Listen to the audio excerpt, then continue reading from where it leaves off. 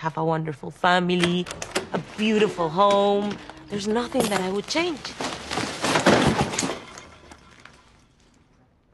I hate the dog butler.